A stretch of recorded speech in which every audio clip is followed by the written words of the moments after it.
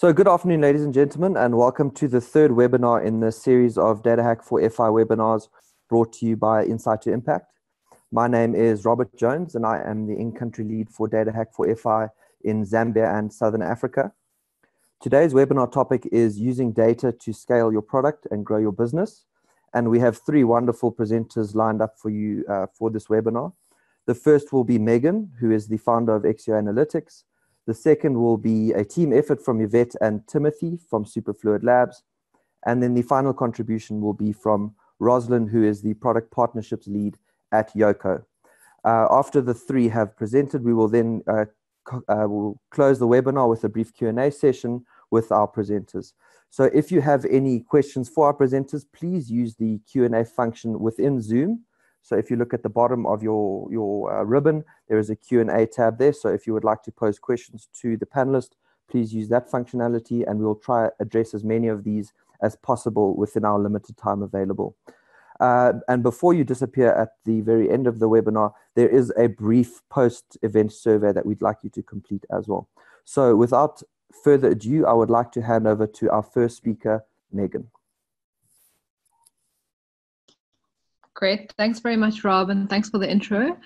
Um, yeah, so a little bit um, to kick off. Um, so I'm Megan, and I founded Ixio, which is a data science consulting business. Um, do a lot of advisory and consulting with work with corporates across the continent.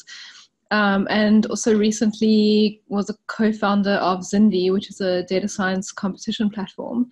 Um, in terms of emerging companies, um, I get quite excited because I think that they're really in a place where um, they can have like quite a big impact. Um, do you mind going to the next slide?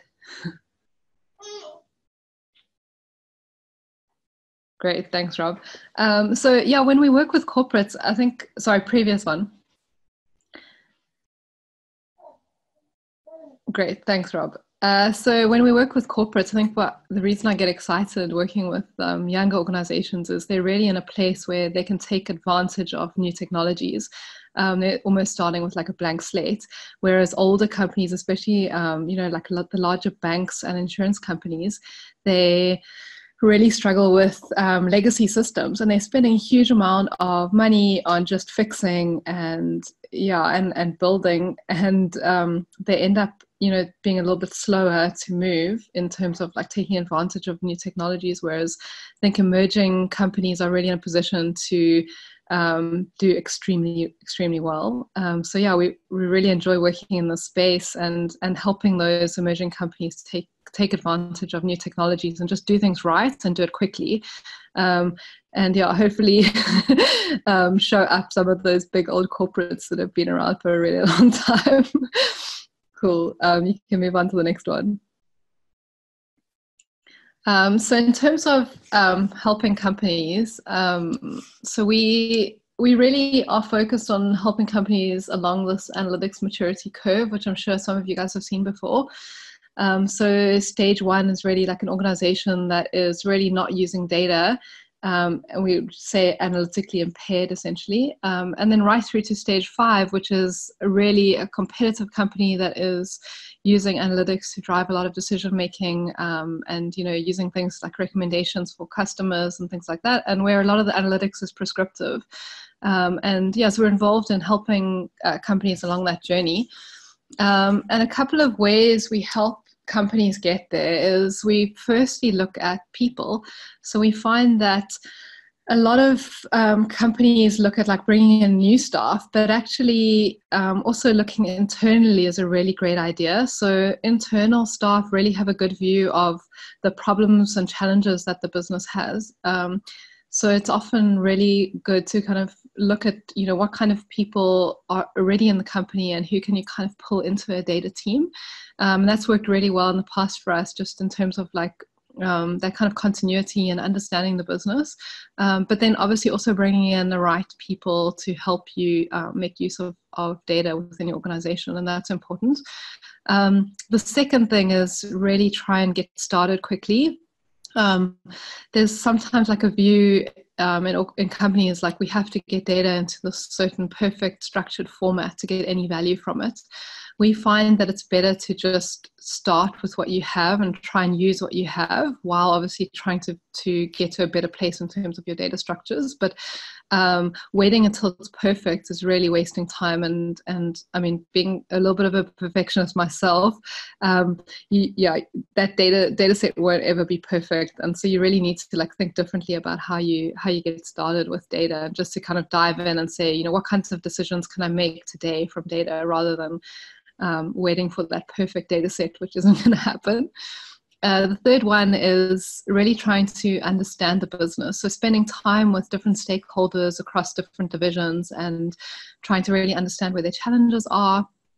Um, and then designing kinds of use cases that you can try and solve with data. And I think that really that partnering with stakeholders um, you know i can't stress that enough. It's really important to have their buy-in but also to to build solutions that really try and solve their problems and you know make their lives easier um, and help them get results with data. Um, too often analysts and data scientists are often like you know focused on data and reporting that doesn't always um, that might be a little bit too theoretical and doesn't always help the business um, yeah, so I'd like to stress that one a lot. And then the fourth one is really taking advantage of open source tools. So we have amazing, amazing tools um, available now that are really cost effective. Um, so we, you know, we really love to code in R and Python and, and build things like that. So we, you know, we help companies get away from like these huge licensing costs, um, which often, you know, hold them back from tackling data data projects. Um, so that also goes back to that first one of investing in people, investing in the right people that have those skills, um, and also upskilling. So we, you know, we've often taken people within an organization and upskilled them in terms of Python and and data science and machine learning.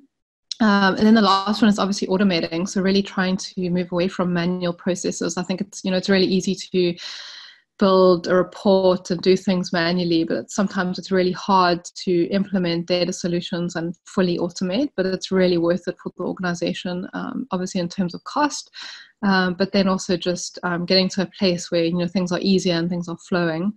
Um, yeah, cool. Can Great, thanks. So, just a quick case study um, where we've kind of taken those principles and implemented them.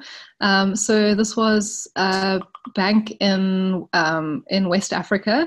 It was quite a young bank, and when we first started chatting to them, you know, they didn't have a central database. You know, they had you know data really ma- manual processes in their data and um, and they didn't have a central kind of data team. So they had a couple of people doing some reports here and there in the organization. And what we did is we identified those people and brought them together into one team.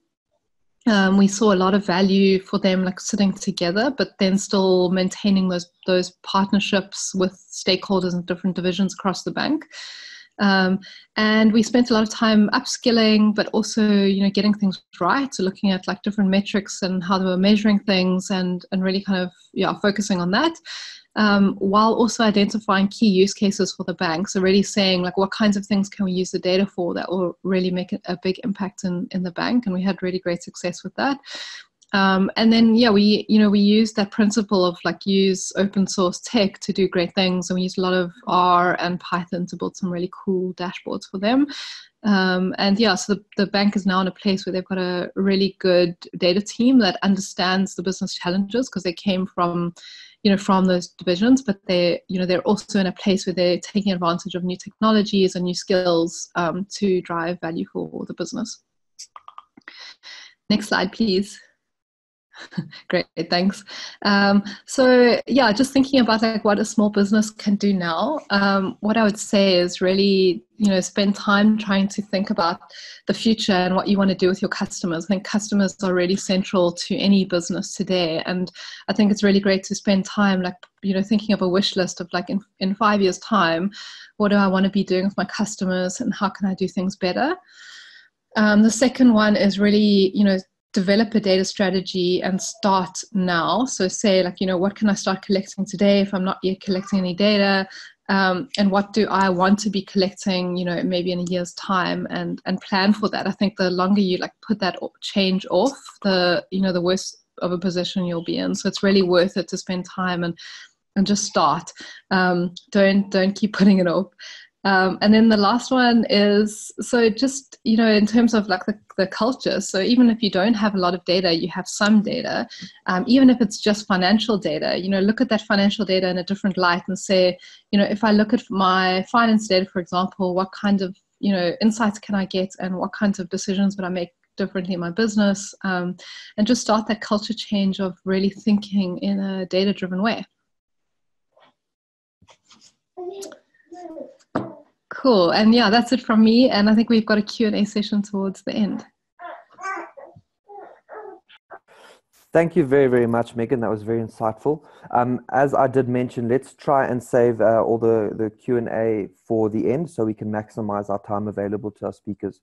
So without further ado, we will move on to our next two speakers who are uh, Yvette and Timothy from Superfluid Labs. Thanks, Robert.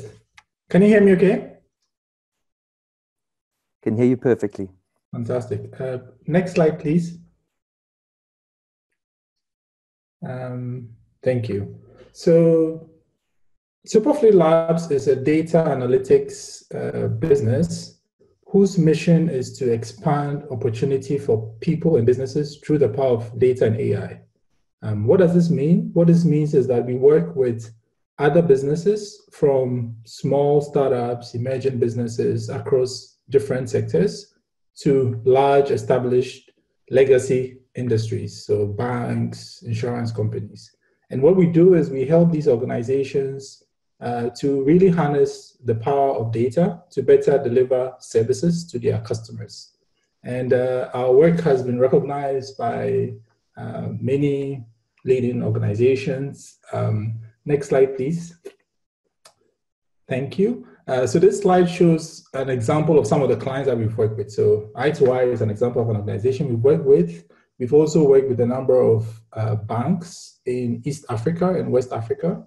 Uh, we have presence in Kenya, in Ghana, as well as in Germany.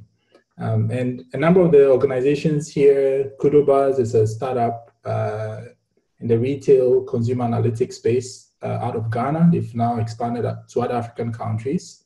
Uh, Umati Capital is also um, a startup in uh, financial inclusion space based out of Kenya. Uh, Isoko and Farmerline are also, again, technology startups that are working to provide, to leverage the power of data to deliver better agricultural services and input financing to smallholder farmers in East Africa as well as West Africa. Next slide, please. So at this point, my colleague Yvette to take over and speak to some of the benefits of data science to emerging companies.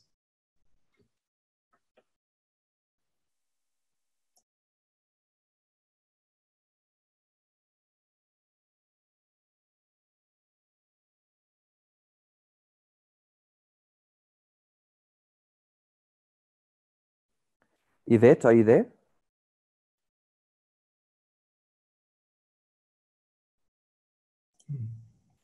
I should be. Hello. Hi, that's yeah. Sorry about that. Um, thank you, Timothy. Hello, everyone. So, um, data science. Before talking about how data can scale a business, we'll talk about some of the benefits of um, data. So, data can um, be used to expand your customer base. To, um, you can also use it to innovate um, on your products and services. Also, use it to optimize your business operations and also manage risk in your business. Is the next slide. So how do you do this? Um, you need to um, optimize, um, leverage on alternative and traditional data sources. And some of the traditional data sources could be your customer and transactions data, and uh, the alternative data sources could be social media data like LinkedIn and mobile money. And what happens is you are able to profile your customers. When this data is mined you're able to profile your customers understand their behavior um, and also meet them at their point of need providing for them what is relevant for them. Because you're able to come up with a data product or a recommendation engine that is able to provide um, your customer suggestions that um, provide your customer with suggestions that will make them um, that they are more likely to respond to and to patronize your brand or product more. And you're also able to manage the risk involved in providing services. For example, if you're a credit um, provider, you want to be able to leverage on data to understand the payment behaviors of your customers so that you're able to lend the right amount of money and the right um, um, quantity, right amount of money to the right customers in order to um, manage the risk of them defaulting. Okay, next slide, please. Hello? Yeah. Next slide, please.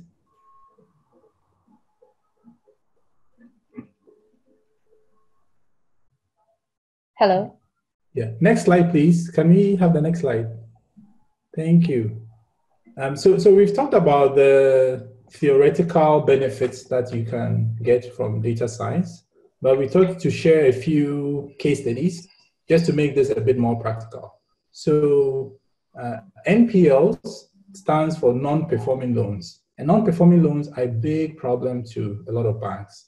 Uh, what are non-performing loans? So usually when banks lend to individuals or small businesses, the assumption is that the individuals will pay back. But there's a risk that some of those individuals will not pay back. And that is very often one of the reasons why banks charge an interest to cover for the individuals that don't pay back.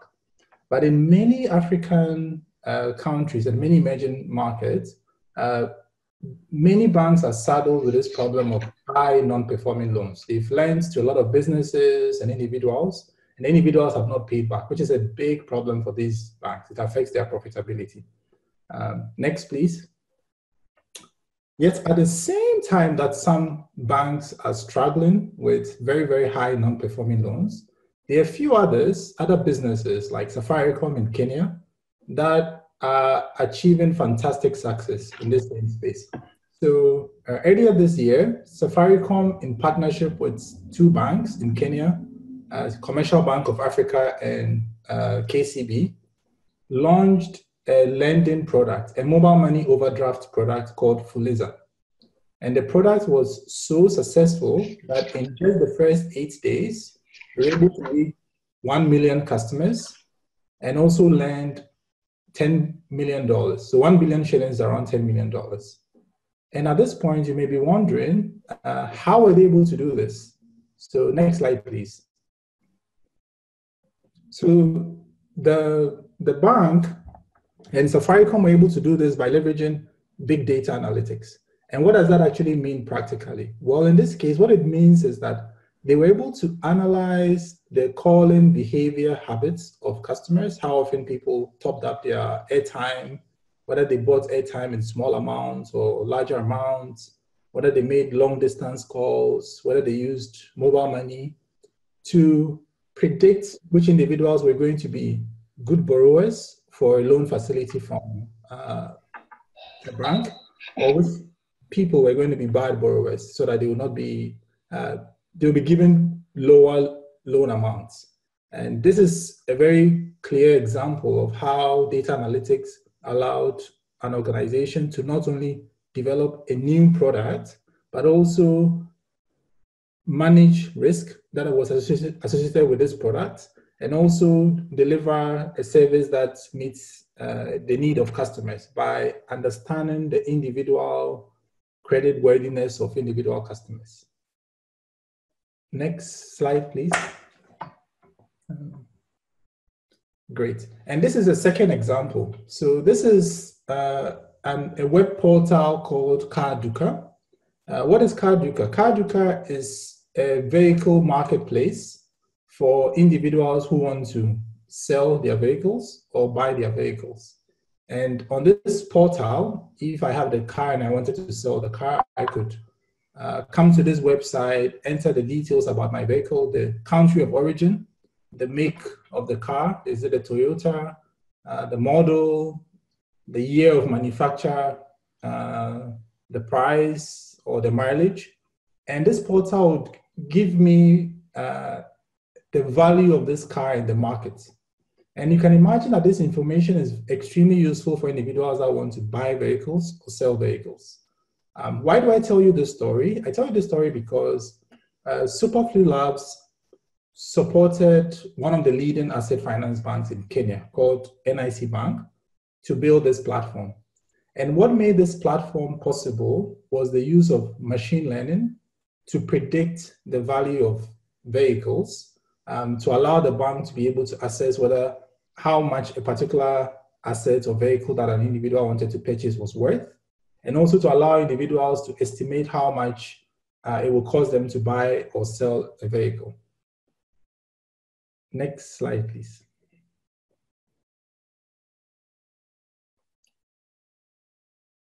Yes, so this is a platform that Superfluid partnered with uh, NIC Bank to develop, and we've also worked with, these are just uh, two examples, we've also worked with uh, several other startups and small businesses as well to develop innovative uh, products using data, data science, and machine learning.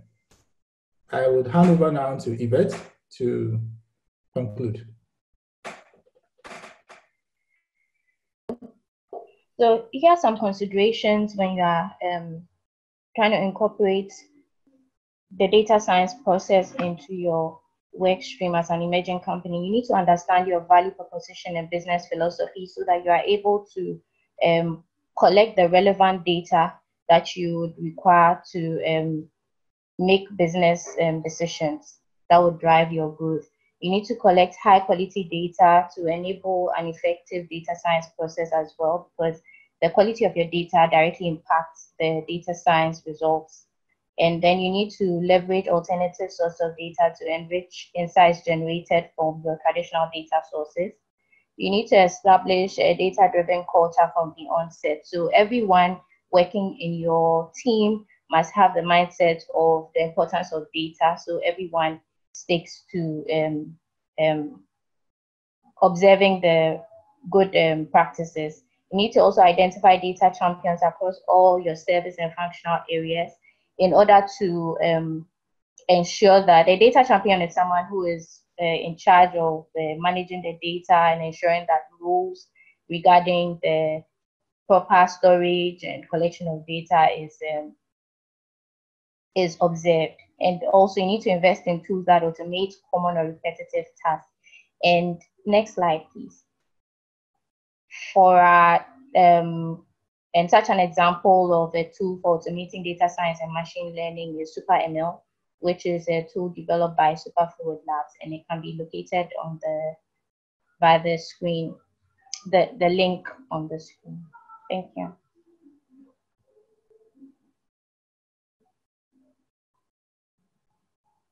Fantastic. Thank you very much, Yvette and Timothy. And now we will move on to our last speaker, who is Roslyn from Yoco.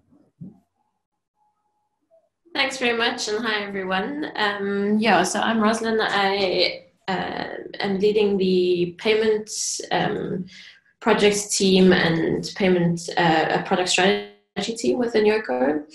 I've been at Yoco for about a year. Prior to that, I was at Payfast and was running my own thing for a while before that and worked for another startup before that. So I've worked for quite a few different versions, very different styles of startups. Um, so I'm taking uh, this talk on scale from a slightly different perspective to, to kind of bring in a different a different view of what needs to be be considered. Um, so the the key thing that really I have experienced and noticed is that as we are looking at at companies at scale, um, one of the one of the key things is, that what ends up happening is, is that there's a bit of a shift between the, the, the a small business being able to handle information and and projects and things in quite an ad hoc, very agile, very fluid motion uh, kind of style, and and and there's a point at which you need to start formalizing. And I think the, the previous two, two presentations have spoken to this a little bit already, so it, it segues quite well into, into this, this concept of there's, there's a point at which you need to start figuring out what that formalization looks like, and particularly from a data perspective. At, at Yoco, for instance, it's a very data driven company and has been from the start. It was something that was a, a very conscious decision from from the founders, and and that has stimulated a lot of um, thinking in terms of how and where things can be improved. The side that I want to look at today, particularly, is to consider what the difference is between how we scale a business from a product perspective versus what we're doing from an internal perspective. So, I'm going to focus the rest of this talk primarily on what happens at the point at which you stop being able to be super agile and how does that affect teams internally in, in the company. So, next slide. Um, so, this is just to kind of understand why this is important and why this is something that has come up a lot, and particularly in my experience in working for, for different startups, this has been the the area that actually ends up causing a lot more tension between between people and causes a, a, lot of slowdown in work from a product perspective because you spend so much time worrying about how you are interacting as a team. So this is a good representation to kind of understand why this suddenly gets really complex and the it's it's a theory around um, there are a few references on there which can be shared afterwards so it's the it's a theory of, of just how many connection lines you have to have between people as team scale and as group scale and you can see that the, the picture starts to look incredibly complicated, even at a number of, of 14 people, which doesn't seem that big. So there's quite a lot of research around what the size of teams are that are optimal, that function optimally.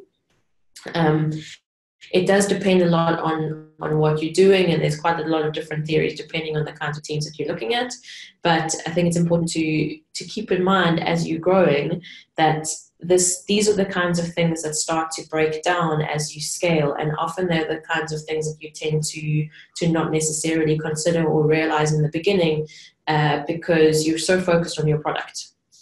Next slide. So i'm just uh, very briefly going to go through a few kind of key things. These are um, information pieces or points to consider as you are scaling uh, that came from a few people within within Yoco and just my own experience in working for different in for different teams.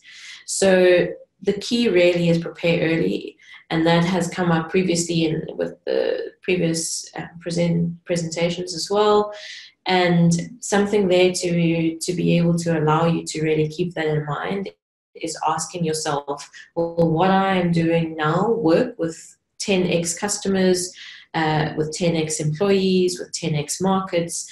And, and this is where really I think these are the kinds of things where data starts to become um, critically important as well is is what I is understanding and having a visual sight on what is happening and what does 10x look like what do what do um, what is a scale what does this company look like at scale? And i think you can start to get some of that from a data perspective as well. But it's important to keep in mind is that we also need to be considering that as you're scaling employees are part of that and they also need to be considered and there's a lot of preparation that needs to be done early on to get everyone on the same page to be to be keeping that in mind.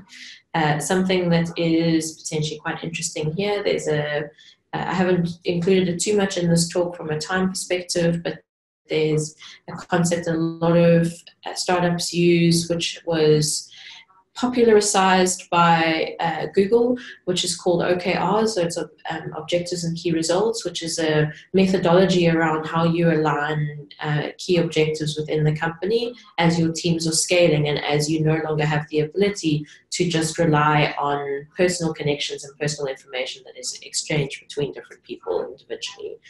Next slide. So the next key point on this was to to keep focus. So this is something that I have noticed particularly in working with companies, and and I think part of what is interesting about this is that there seems to be a defining point at around 20 employees, is is the point at which the conversation starts of uh, you'll notice immediately people starting to consider well how are we communicating and communication lines are falling and this is where there's also coupled with that there's a extra element of i now suddenly have too many projects and i don't have capacity to be able to handle all of these projects. And very often prior to that point as a company you've been able to say yes to every opportunity that has come your way so although you may have a key focus in terms of what your strategy is as a business there has been the ability from a resources perspective to, for the most part, take up opportunities and explore different opportunities. As soon as you start getting past that um, initial phase of figuring out, and once you started to get product market fit, you now start to end up with a lot of questions as to which things am I prioritizing, what are my projects, which ones am I saying no to, I think is the key there. Very easy to understand what you're trying to say yes to, and OKR specifically can speak to that. But it, it's important to kind of understand what am I also saying no to, because sometimes that is more important than what you're saying yes to, uh, because it's impossible to be saying yes to anything until you're saying no to other things. Next slide. Staying responsive is the, the next key thing. And again, this is where data is incredibly important and useful. Being able to understand how your business is shaping and moving as you go in real time is where data really becomes important. And I think the real time aspect of that is key. So if you are going to be moving faster than competitors, if you're going to be pushing boundaries and innovating, you need to be able to be responsive in a real time basis and be changing your decisions that you're making based on new information that you receive. So there's a there's an element of flexibility and uh, fail fast and all of those concepts that come up quite a lot in, in the concepts of, of startup companies. But in order to do that, you need to have that information and be able to, to navigate the environment. And that's understanding your own company internally, as well as understanding what's going on in the market, which is a little bit more difficult. But if you can at least understand where you sit from an internal perspective, you've got a lot to go on initially. Next slide. So this is just, um, I think this has also been been brought up a few times. So using tools is a key way to understand both your data as well as manage your company internally as your as your teams are growing. There's a whole bunch of tools out there. It sometimes can be a bit of a minefield. These are some of the tools that um, uh, that I have either used before or are used at Yoco. Uh, one or two of them I actually haven't used before, but I've a number of people have recommended them before. It does depend very much on the scale of your company. I know something that, that Yoco particularly does as well is tools get changed quite a lot. So they get adopted quite quickly and changed out quite quickly, which is just responding to the difference in size.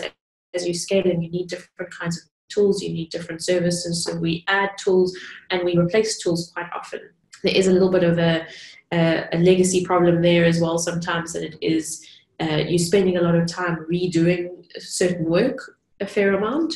But I do think that the, the, the benefit at the end of the day ends up being a lot, a lot greater. So they are these are just a bunch of, of different things. Um, Product Hunt is should kind of be the central one. That's where you can go and find a bunch of different tools. They have this interesting concept called the Founders Club, which is a uh, a club that you can kind of join, and I think there's a fee associated to it on a yearly basis, but it gives you access to a huge range of different tools, particularly as you start in your company. So that might be an interesting thing to to consider. But beyond that, it, it really depends on what your what your company needs and where your business is and what kind of tools are useful. But these are some interesting ones that, that potentially um, are not necessarily well known. Uh, some may obviously be well known, but yeah. So that's that's me. I hope that helps. Perfect. Thank you very, very much, Roslyn, for that. Um, so we will now move on to the, the Q&A portion of our webinar. And I see that there aren't any questions being posed in the Q&A. So if you do have any questions for our panelists, please post those in the Q&A section now. But uh, from my side, I've jotted down a few. So my, my first question, uh, question goes to Roslyn, and it's around the data hack typically uh, looks at startups and emerging companies that are still trying to to grow their business. And typically, in these sorts of businesses, they have limited staff capacities and limited staff numbers.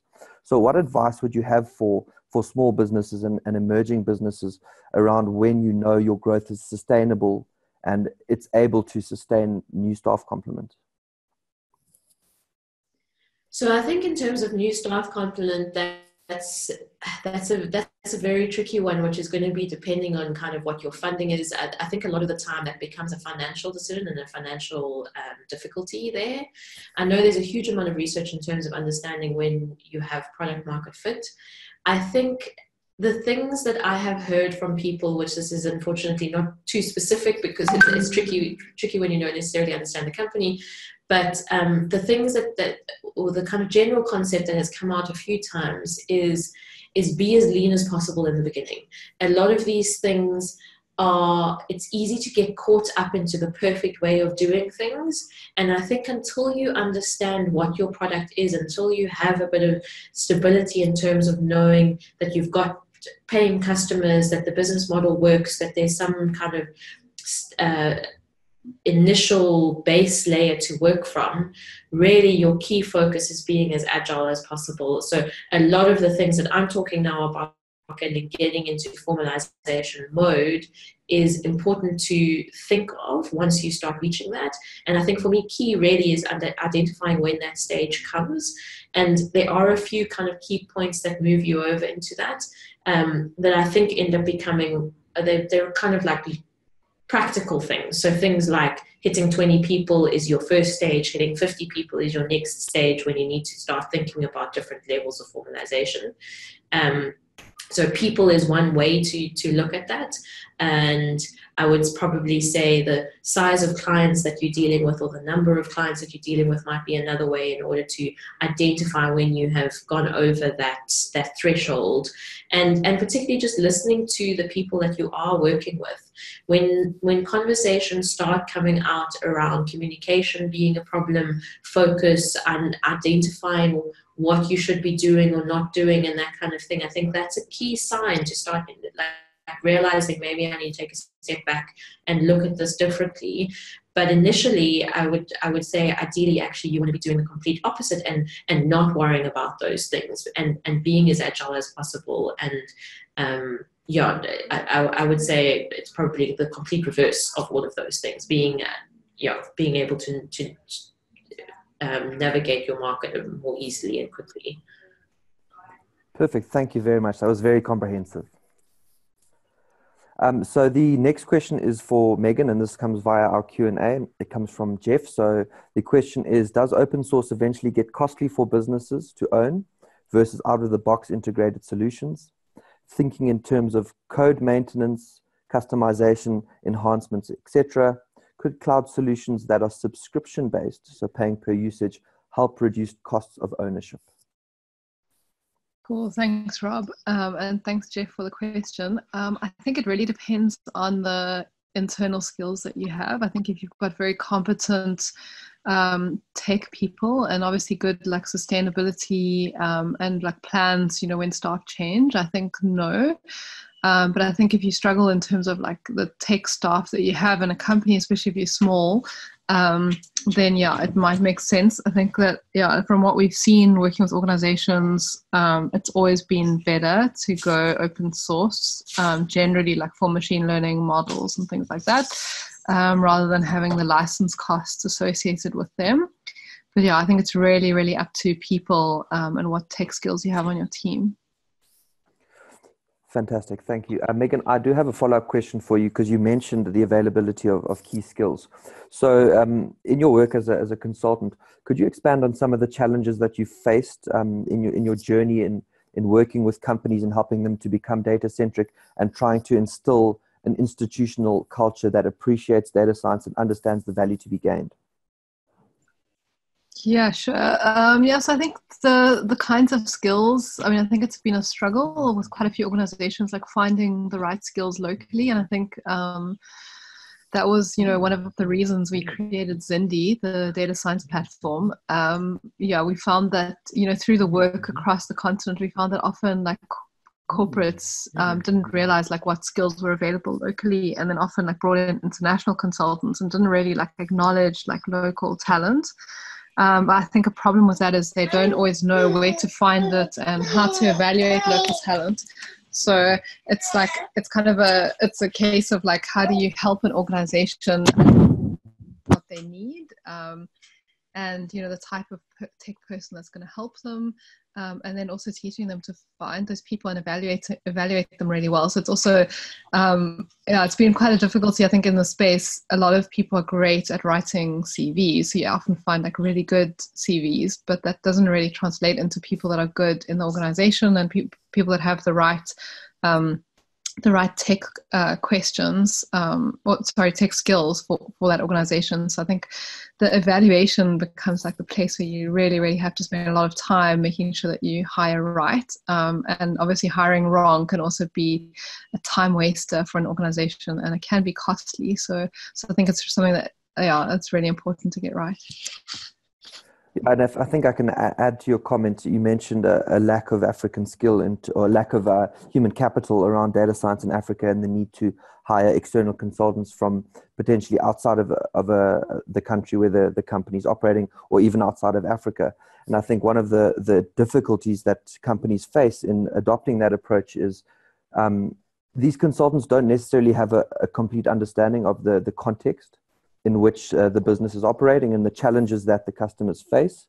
So um, th- there is a definite need um, within Africa to train African data scientists that uh, meet that, that understand the contextual nuances in which these products are designed to function.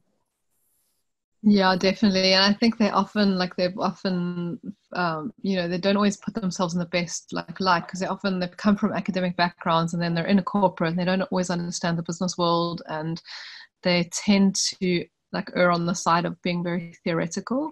Um, yeah. you know, you know, focusing on like model accuracy and that really not always focusing on like what does the business really need, you know, and and just getting stuff out there. Often it's just a case of like testing and learning and experimenting. Um, so yeah it's, it's, definitely like a difficult thing to to get right. Um, and uh, so that was also i mean that's one of the reasons we created Zindi is to have a way of like you know actually trying to evaluate um, you know whether somebody can use real world messy data to solve a problem. Um, that doesn't always address the need for you know the side of the business skills but um but yeah i think organizations are are realizing that they you know just the academic tech skills won't always get them what they want. Uh, uh, fantastic. And I, I, think that if you are trying to instill a, a, culture within a business around data science having someone come in and speak very high level technically that not necessarily the right approach in order to get buy-in from the management staff who will then filter that focus throughout the business. Yeah exactly Thank you very much. Um, my next question is for the Superfluid Labs. So um, within Africa, there is a, in, in terms of uh, in the communities, there are individuals that have quite a limited digital footprint. Could you um, maybe expand on the use of alternative data in uh, attempting to credit score? Great.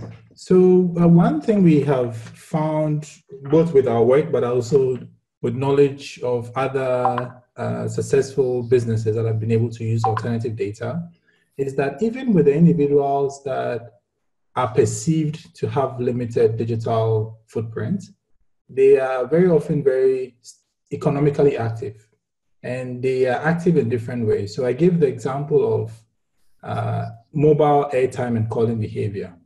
Many, many Africans, almost everyone now, um, has a mobile phone, calls, tops up airtime.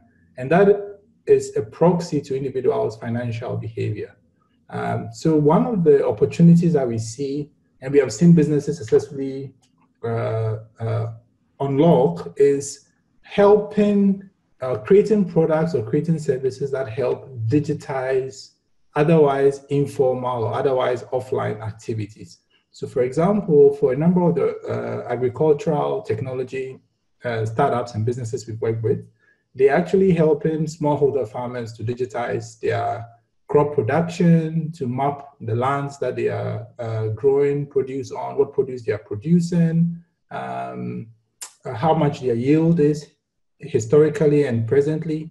And all of these data that is being captured for the first time in some cases is enabling these businesses and their partners to now profile and credit score these customers.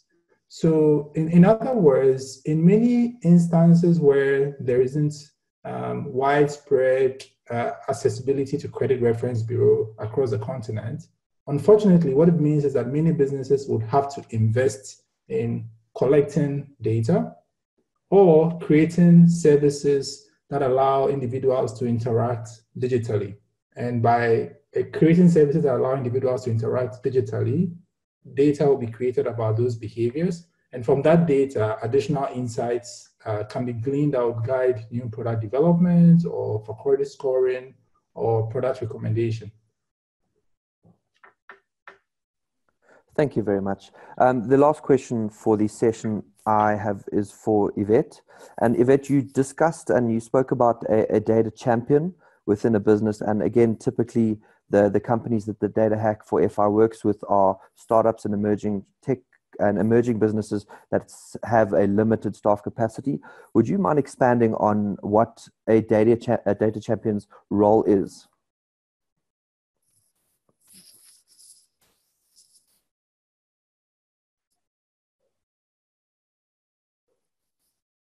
Yvette, are you there?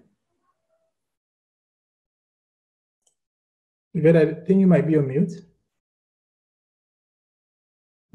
I'm happy to step in and answer that. Uh, Timothy, please, will you? Thank you. So, so, so a data champion is uh, it could be different people, different roles. So let me give a very practical example.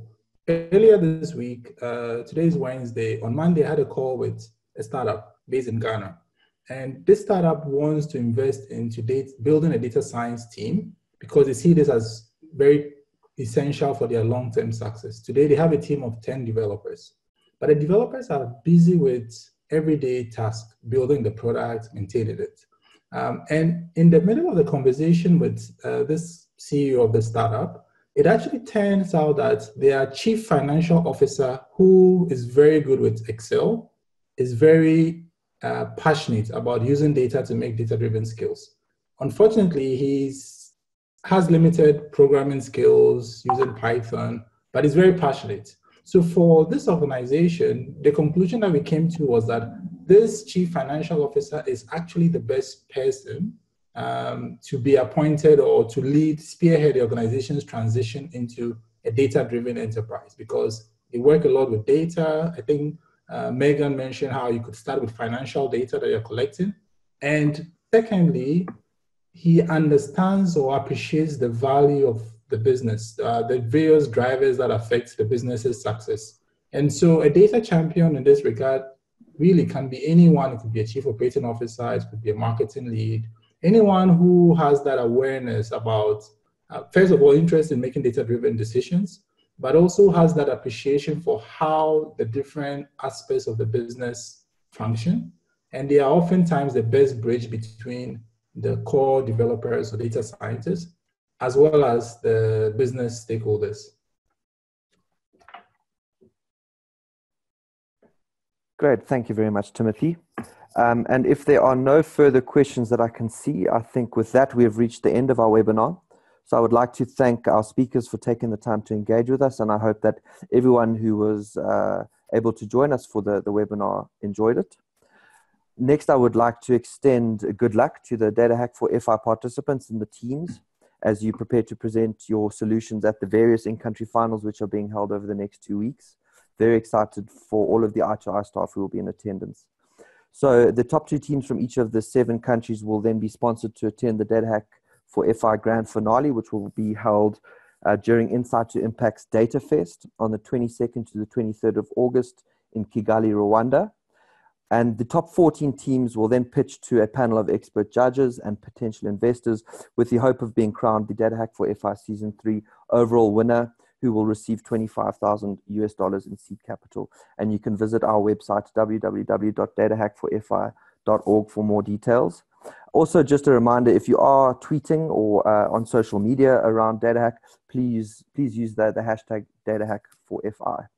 DataHack4FI. Uh, lastly, before you leave, um, please will you complete the post-event survey that should appear on your screen any moment.